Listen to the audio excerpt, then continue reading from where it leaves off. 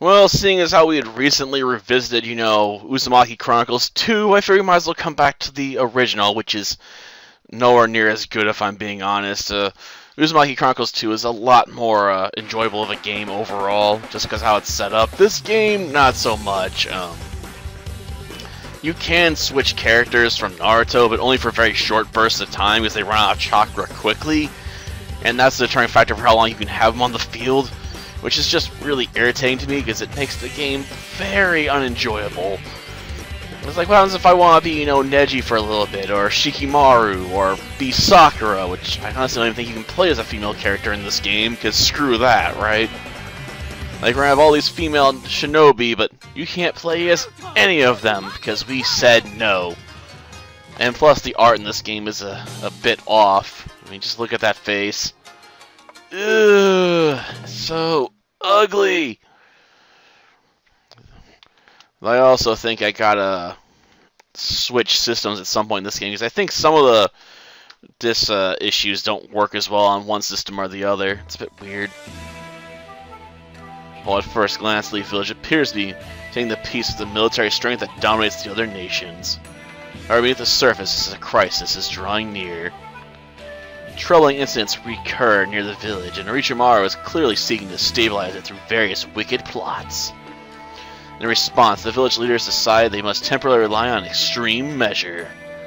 Or sudden military strength that's running short, Genin who would normally be assigned C-rank missions or lower, are now given more difficult missions according to their ability. Well, why wouldn't you be doing that by default anyway? Not to mention, How's what do you do with the Eternal Genin? You know, the guy's been around since the time of like the first Hokage, and is probably one of the strongest people in the village.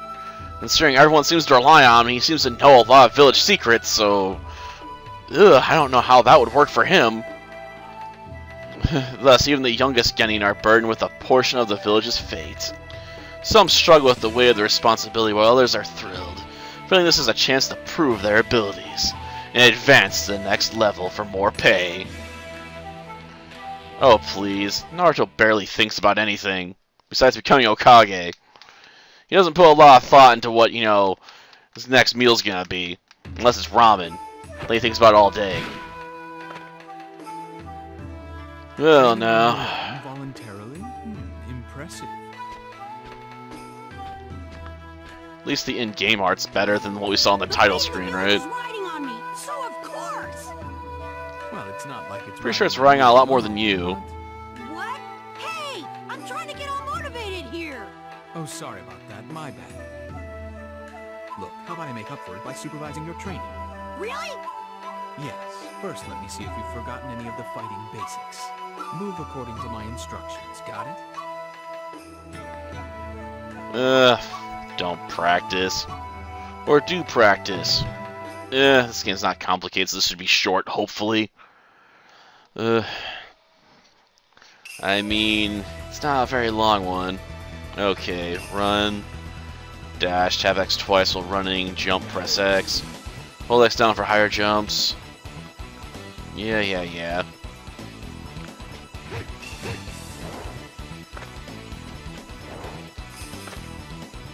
Okay.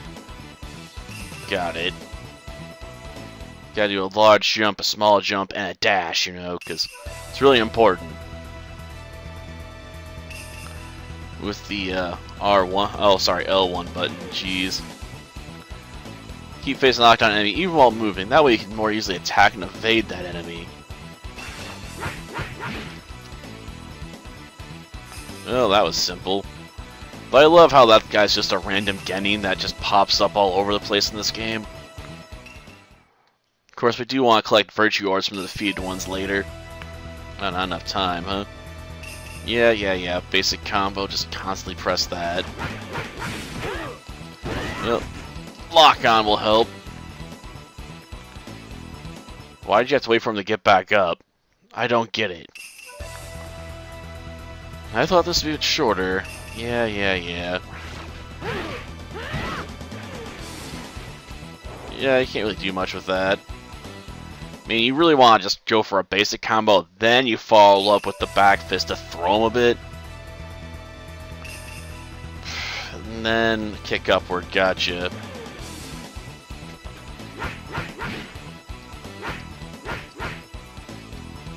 Darn it. Clear that off, will you?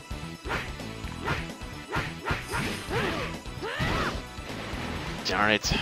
Did it wrong again.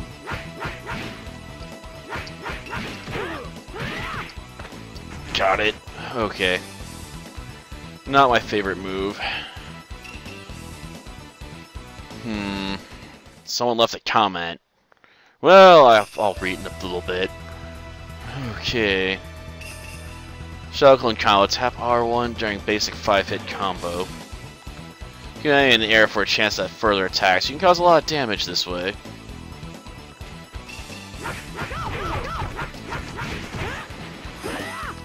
Okay. Yep. I honestly can't imagine you'd want to use that one a lot either, cause unless you got infinite chakra. Yes. More chakra build the more clones you'll create, the longer they'll last. Now you lock down with L1, your clones will focus their attacks on the enemy.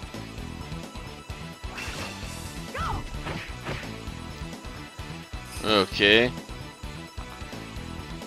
Just two, huh? Don't don't want to go too far into it. What, are we gonna use Sexy Jutsu next? Okay, the more chakra you have, stronger your power will be. Yeah, yeah, yeah, so just hold R2, right? Boom! So yeah, they just call that the Power Strike, not the Rasengan. Yeah, I know, it's kind of dumb, but they didn't want to spoil what it was called because this game came out before certain events in the anime happened in the US, which is why they had to completely change the plot line. Because um, originally you're going to have to deal with Akatsuki a bit with this one, so they cut that all out to avoid issues. And yeah, this doesn't work on certain enemies. Because, you know, they're unbelievably gay, I guess. Though I have to admit, I prefer the harem jutsu. Though I don't know if I can perform it yet. Oh, the camp screen, where you can equip and attack items. Yeah, yeah, yeah. Okay. Items. Equip attack items, sorry. Oh, kunai knife. Yeah. I get an infinite number of those. I really don't know why we have to have an infinite supply of the most worthless weapon. Though, admittedly, I guess it makes sense. It's sort of like how you have infinite amount of ammo in your basic pistols in a lot of games, right? Yep. Gotta beat enemies up to get access to that stuff. Boom. Gotcha. Ugh. Didn't get all of them, but it's fine. I just had to defeat the enemy and grab what I could. I don't have enough to really do much, though. Yeah, yeah, yeah. Okay. Set the Drain Effect Chip attack with Taijutsu and pick up a Chakra Ore. Attack enemy with combos. Yeah, yeah, yeah. Skill plates, set skill chips. Drain Effect. Okay, yeah, this basic layout sucks. But we only have, you know, one option there. I mean, later on we can spend it, but I don't think I can really do that right now. Yeah, I only got five. So we can't buy Jack Squad because I need at least 50. For even some of the basic stuff. And even this stuff I need, you know, well, I got five, but they're not gonna let me spend it yet.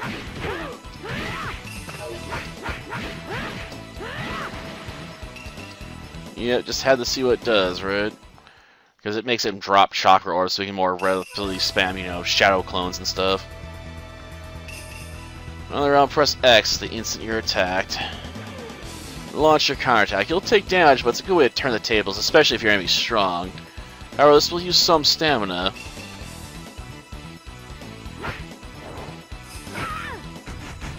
Ugh, I was in the air so I couldn't do it. You want to make that faster, my friend? And did they really have to pause me in the middle of my combo move? Like, yeah, I'm stuck in the air. That makes it super special awesome. Okay. With an ally, huh? Control an ally unit until stamina runs out. Use Ninjutsu with R1, R2, and press L2 again to put your ally back on standby where you can recover stamina. Yes, carefully.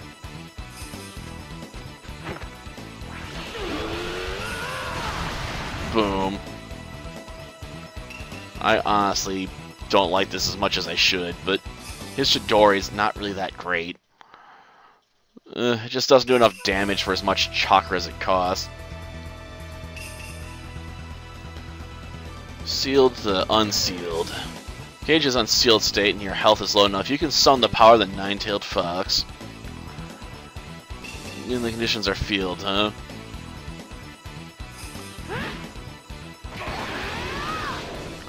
Okay.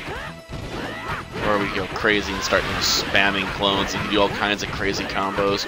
Admittedly, you know, you don't see this state as often as you'd like. Mostly because, you know, you can't activate without having your health low, and usually you're going to want to keep your health high, right? Okay. 71 hits. Nice. Though, admittedly, we didn't seem to get a lot of chakra orbs out of that. Come on. Thank you. I just wanted to see the orb. okay now. Time for some missions, right? Hey, Sensei, how are my moves? Perfect, right? Hmm, you pass for now. Barely. Uh, your grading's too tough, Kakashi-sensei. It's for the best in your case. Don't It worry, really Sensei. is. In a real fight, that's when I shine. No matter how big the mission, it's no biggie. Well, your cockiness is Jonin level, I'll give you that. Anyway, just don't do anything to shame the Leaf name. Right. Well now. What's my first mission gonna be? Ugh. well no. Guess we'll find out next time. Yep, we're gonna dedicate a whole episode to just learning the basics.